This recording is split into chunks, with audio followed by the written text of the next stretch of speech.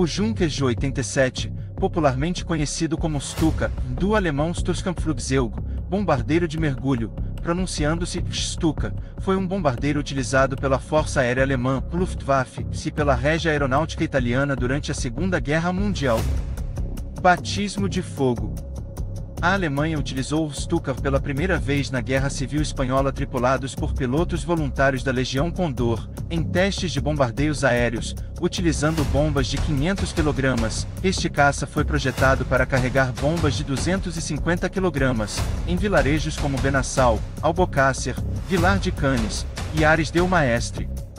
Posteriormente, na invasão da Polônia, em 1939, contra alvos fixos, como as bases da Força Aérea Polaca.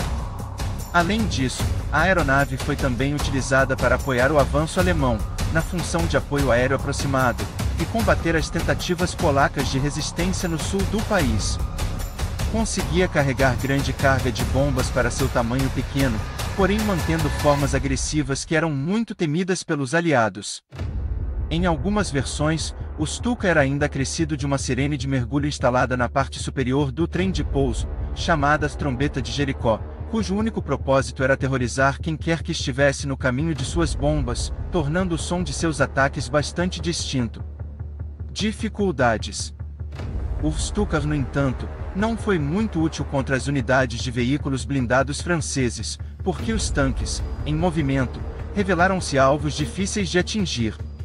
Após o lançamento das bombas, a força gerada durante a recuperação do mergulho podia causar a perda de consciência do piloto por alguns segundos. Primeiras derrotas. As limitações do projeto do Ju 87 Stuka começaram a evidenciar-se apenas quando, em 1940, começou a Batalha da Inglaterra. 336 Stukas foram preparados para a missão, inicialmente designados para operações de ataque à navegação no Canal da Mancha. Quando os ingleses passaram a navegar apenas de noite, a utilidade do Stuka mostrou-se muito reduzida, pelo que os alemães passaram a utilizar esta aeronave apenas para atacar as bases inglesas como haviam feito na Polônia e na França. Mas sobre os céus da Inglaterra, a ideia de avião que aterrorizava perdeu efeito. Os radares avisavam os ingleses da chegada de formações de aviões alemães e os Stukas tinham que enfrentar os caças britânicos no ar, função para a qual não estavam preparados.